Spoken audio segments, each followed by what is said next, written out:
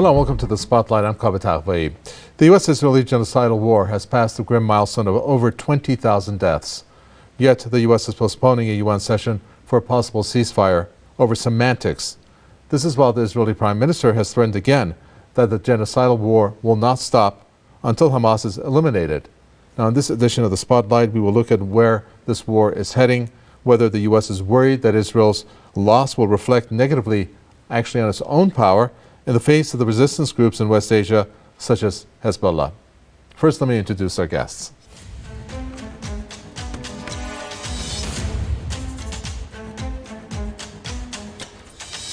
Paul Larudee, co-founder of the Free Palestine Movement, joins us from Berkeley. Also joining us is Yves Engler, author and political activist from Montreal. Welcome to you both. Paul Larudee, I'll first start with you. We're looking at the third time that the U.S. has rejected this resolution. Uh, the last time I checked, uh, Thursday has started in New York. Uh, I don't know what time it is where you are, but I think it's where New York has to get together and for them to actually go through this. I'm looking at how every minute counts when it comes to this genocidal war. At the same time, we're looking at semantics here. I think it's over cessation uh, that is the problem for the U.S. They are opting for suspension. Uh, do you think, how do you view and assess the way that the U.S is uh, positioning itself here when it comes to uh, the UN, which could result maybe in a uh, possible ceasefire, temporary one at that. Well, I'm not sure it's just about uh, the semantics. It's also, I think, uh, from what I've heard about the uh, question of distribution and who supervises it and who controls it.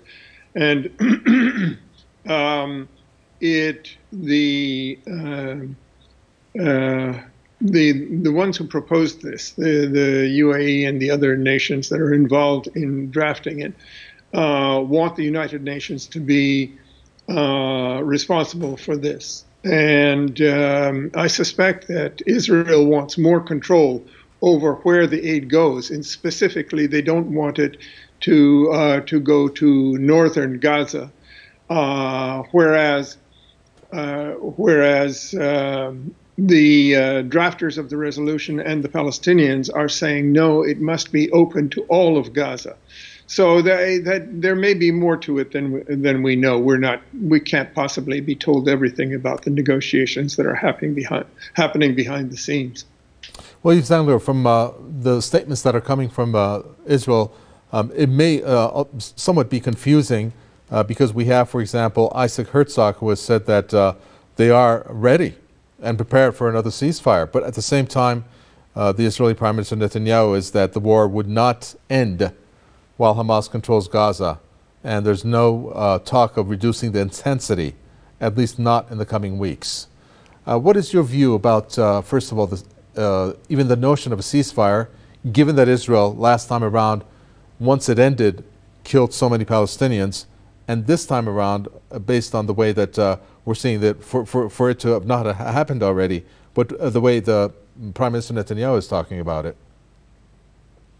Yeah, well, I would presume that Israel is is uh, being preparing itself or preparing to try a similar type, quote unquote, uh, ceasefire or humanitarian pause or whatever we want to call what happened a few weeks ago. Um, and they're under a lot of pressure internally to um, get more of the hostages uh, back. Uh, and uh, they're also under pressure internationally to allow uh, humanitarian aid in and also to uh, to slow down in the in the killing. Uh, so that's what I think the Israelis, you know, are sort of preparing for, and they're trying to, of course, get the best deal they can make with you know giving up giving up as few Palestinians as they've uh, they've uh, kidnapped uh, in exchange for those uh, that uh, Hamas has in Gaza. Uh, but I think the broader issue here is is that, or what Netanyahu is speaking to, is that the the the murderous forces in, in charge of Israel want to be able to keep killing Palestinians. So whether whether that stops for a week and then you know continues for many months after, or uh, some or just continues on without stopping uh, for you know even a couple days, Um, that's clearly what Netanyahu wants. Uh, it's all framed as uh, you know ending Hamas or, or destroying Hamas.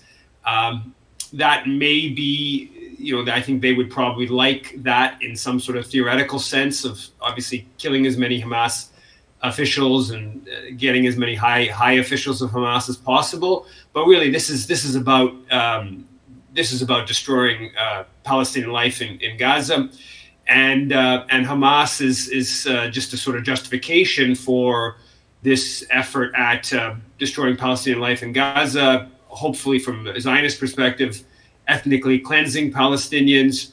And um, and they know, of course, that this level of killing that they're doing is is just making Palestinians even more um, angry and uh, hateful towards Israel. And so the mm-hmm. you know even if they were to destroy Hamas, uh, there's going to be a much more uh, uh hostile. Uh, resistance that's going to develop uh, over the over the coming years. Well, I mean, we're, we're looking at about 75 days of this war to have transpired so far, Paul Larudee. If you were to take a look at the accomplishments on the Israeli side when it comes to the battlefield, I'm not too sure what they can show for it. Uh, one of the things that stands out, obviously at the top of the list, which is not an accomplishment, is the fact that uh, 20,000 plus Palestinians have been murdered.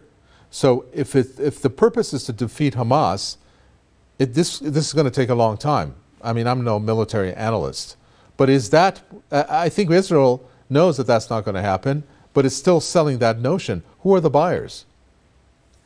Um, very few people, I think, buy the idea that they're fighting Hamas. They're fighting the Palestinian people, and they want to see the Palestinian people disappear, as Yves has alluded to. And uh, they are, uh, they want to see them disappear at least from the uh, land where they are uh, if they go to other countries, that's fine with uh, with the Israelis. But actually, I think the they would prefer to see them disappear from the face of the earth. This is genocide. This is ethnic cleansing, and I think that actually the the death toll is far greater than what is uh, commonly um, broadcast. It's much more than uh, 20,000. There may be between 5 and 10,000 that are not counted because they don't have the names. Uh, Hamas, uh, the Hamas government in Gaza, the, the health ministry, is keeping names of all all them so that they can show that they they are in fact uh, 20,000 of them. But there are so many for whom they don't have the names because they're buried underneath the the rubble and they they were uh, children uh, were trapped underneath the rubble, maybe maybe staying alive for a while, but then then uh, um, dying in in terror and and pain. Uh, and and we don't hear about those. But what about also the ones that are dying as a result of the sealing of of the borders and the lack of food and the lack of uh, medication and the disease that's happening because of uh, his Israel's acts. We don't even get statistics on on people who are dying of uh, diseases and starvation that we uh, uh, we we don't see. So mm-hmm. the the the numbers are much greater than that, and uh, and it'll it will be, become much greater if they don't get food and medical care. You know, Jake Sullivan, the National Security Advisor of the U.S., uh, visited uh, um, Israel uh, recently. Yves Engler, I'm sure you're well aware of that. Uh, one of the things that uh, he said is the fact that Israel's, Israel needs to transition from high intensity to low intensity, um, which is quite startling given the fact that both entail Israeli, I'm sorry, Palestinians to be killed and murdered. But another thing that he said, based on an Israeli official, uh, is that uh, Sullivan uh, said there was no pressure from Sullivan to end the fighting, but that he, he was concerned about the displacement of Palestinians and civilian casualties. So that does really show that the U.S. wants this war to continue. Uh, but why do you think the U.S. is so keen on that? Well, the, I mean, the U.S. is uh, whether they say whatever they say to some extent doesn't matter much, considering they continue to provide the weapons, uh, you know, new shipments of weapons on an almost sort of multi-day basis to to Israel. So, if they want to restrict uh, the killing, it's pretty simple to just stop either giving or selling weapons to Israel. So, um, yes, Israel, uh, U.S. is absolutely completely complicit in in in this uh, genocide. Um, now, what explains the U.S. Uh, policy on this? I think that's a bit complicated in terms of. I mean, I think there's everything from the U.S. arms industry loves killing and love wars.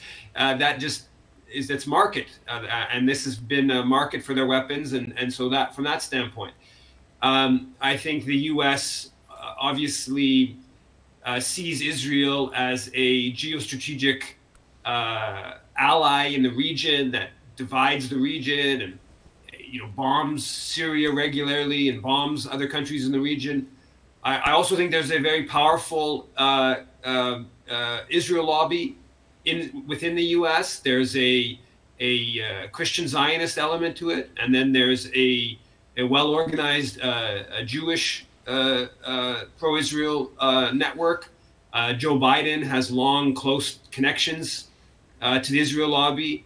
Um, so I think that that's the um, the you know the explanation is is that this mix of arms industry, geostrategic thinking, and uh, and this powerful lobby uh, uh, pushes the U.S. government to to basically support Israel almost almost no matter what. Uh, we need to figure out if you can help us, Paul Larudee, as to what it is that will uh, spell out an endgame here. Now, what uh, the U.S. has said, uh, again, uh, out in the open, is uh, not what Israel wants. The U.S. wants what it calls a recalibrated, reformed PA. I'm not too sure what a recalibrated or reformed PA would look like, but for that is what the option the U.S. seems to be leaning on, because that's what they're envisioning where uh, the, Israel is saying we want to handle the security. Um, what, what, do you think it is that uh, either are going to, um, I guess, agree on? Because they both seem to, well, both Israel obviously has a say, and uh, U.S. Uh, is putting its two cents in there. Uh, and I'm saying that uh, taking into account that Hamas cannot be defeated, as we spoke earlier about that. So if you can put that into the equation for us and explain to us what may happen. Yes, this is not about an agreement. If, if you're talking about how to end the uh, the fighting and the resistance, uh, it's not about an agreement between the United States and and Israel or between uh, Israel, the United States, and uh, the rest of the world. It's about uh, the Palestinians. The Palestinians must must have a, their voice. They must be satisfied. They are not going to go back to a uh, the the situation as it was before. Hamas has clearly uh, declared that, and it seems to me that they are doing very very well in pursuing their strategy and they can probably hold out for a very, very long time. I'm not sure that Israel can hold out for a very long time. Their economy is is uh, is in the trash, and uh, a half million uh, Israelis have already left the country. Uh, a large percentage of their population is not living in the places where they used to live in the south and in the north. Uh, and they're very dissatisfied with what the government is doing. I don't think Israel can last that long, and and Hamas is is uh, is counting on that. So it's about Hamas, and they will not go back to the situation where they are living in a um, uh, an open air concentration camp and where uh, their government, their existing government, is taken away from them and and some uh, um, uh, you know slave government is is is put in place to control them so that the, the Israelis have total more control in the future than they they've had until now that's not going to happen so if you want looking for an end of it the end of it uh, coincides with the end of the Zionist state where there's one state for for for everyone with equal rights. That's it. That's that's the only uh, peace terms that that is going to uh, end this situation. Okay. Well, uh, one thing that is uh, definitely.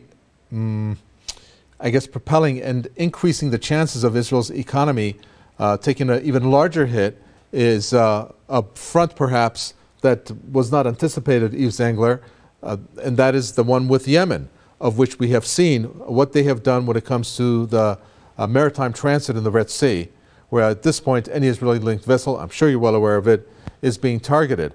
Uh, we just had in our news what was confirmed uh, 80 to 85 percent of the port of Eilat has ceased to function in terms of the little amount that they did at the same time, uh, some are reporting that there's really no chance of any uh, type of vessel going there. Uh, and there are other countries that are uh, suffering as a result of this. And uh, the militarization of this Red Sea area by the U.S. and its so called coalition is adding more worry economically. Do you think that this uh, angle or mm, part of this U.S. genocidal, U.S. Israeli genocidal war may lead to the end of the war where Israel needs to put up the white flag? Oh, I, there's no doubt that this puts pressure on Israel. They're, they're, that the Houthis definitely uh, they have they have uh, ramped up the pressure. Uh, obviously, there's also some pressure uh, with regards to uh, Hezbollah. Um, but yes, I, I, think that is the case. I think that's this. It's it's clearly uh, scared a lot of the global capitalist world. There's major um, shipping companies that have said they don't they won't be taking Israeli products. Uh, there's others that have decided to take different routes, uh, which cost a lot more.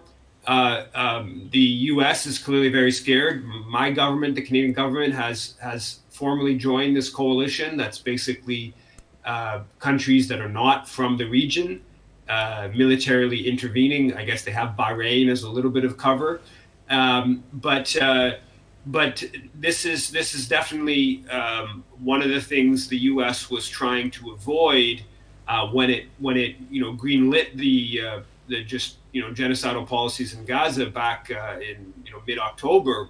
that's why the U.S. was sending more naval vessels. Was trying to pressure any other forces in the region to not um, to not uh, you know uh, defend uh, defend Palestinians. Um, where this all could go, obviously, this has the possibility of, of escalating, um, you know, even further and drawing in other other other countries and and uh, and uh, a wider war.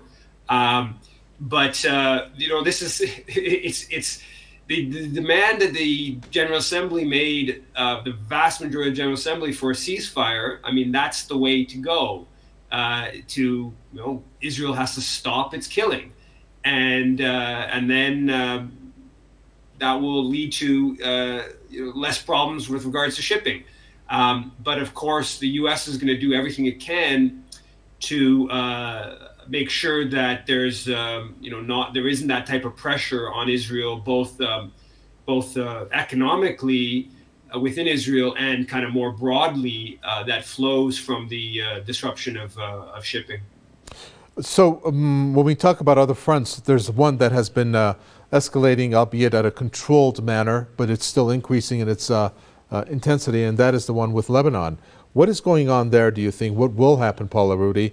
We know, um, well, here again, we're looking at two different scenarios that's put out there. Uh, one Israel saying, uh, no, we don't want this to uh, expand with uh, uh Hezbollah, uh, but then you have uh, other officials saying, no, we need to go after Hezbollah, we need to purge that area out. The U.S. Says it does not want to also have this to elevate into that phase. What is the deal there? What do you think they want from that? Well, Hezbollah has also said that they um, don't want to escalate it in uh, any further, but both sides are saying that they're willing to escalate it. I think uh, escalation would be a bigger problem for for Israel than it would be for Hezbollah. Hezbollah will face some prob- internal problems uh, in Lebanon as a result of escalation. Uh, but they can do it and uh, with the proper provocation from Israel, which um, Israel seems willing to give them, uh, then they can justify it to the to the rest of Lebanon. So uh, nobody really knows. The Israelis don't know. The the uh, uh, Lebanese don't know uh, where where this is leading, but it could definitely lead to an expansion. And we don't know how big an expansion, even beyond the borders of uh, Lebanon and Israel. And uh, my final question goes to you um, here, Yves Engler. We're taking a look at the way that Israel's standing has pretty much been decimated. Uh, not to mention the U.S. Uh, that has uh, Israel has brought the U.S. down with it in this genocidal war. has Israel lost legitimacy on the world stage when it comes to the way that countries are going to be dealing with Israel, whether it's through trade or through diplomatic means? certainly in terms of popular opinion, um, popular opinion around the world, it's pretty clear is is very hostile to what what Israel's doing. Uh, even in a country like Canada, that's the case. Um, but uh, whether it leads to long-term ramifications on trade and stuff like that, um, you know, the U.S. is still very powerful. NATO is still very powerful. They back Israel. Uh, it's going to. This has clearly been very damaging for uh, U.S. Uh, standing within the Middle East, and uh, and I think more generally. I mean, you keep the statements coming from the South African leader about this being a genocide. Uh, so probably in large swaths of Africa as well, uh, to a certain extent in Latin America. Uh, but whether this leads to you know long-term effects on um, trade and things like that, I think that comes back to you know whether there are um, the, the forces that you know care about human beings and oppose genocide uh, in the in Europe, in the Middle East, in North America. Whether those forces keep mobilizing and keep uh, uh, denouncing what Israel's done uh, you know, even months after the the worst of the killing ends. Um, so you know, you Israel's powerful country. Let's not let's be clear about that. It is a powerful country. It, it has its own internal uh, divisions, and, and I think when all is said and done, those divisions uh, in the you know the current phase of killing, I think those divisions are going to be worse. They're going to be further exacerbated within within Israel. Um, but uh, how that plays out in the uh, kind of medium term um, I don't know. It's clear that that Israel has lost um, here in North America in the belly of the beast. Israel has lost uh, the younger generation. That's absolutely clear. Public opinion has turned overwhelmingly, and you know, public opinion in the Middle East was always hostile to Israel, and it's just become much more hostile. It's going to be harder for the different governments to normalize. Uh, but how, you know, the longer term ramifications, I, I don't know at this point. All right, we'll leave it there. Thank you, Yves Engler, author and political activist from Montreal. Paul Larudee, a pleasure, co-founder of Free Palestine Movement from Berkeley. With that, we come to an end for this edition of The Spotlight. From Mikabatawe and the team, it's goodbye.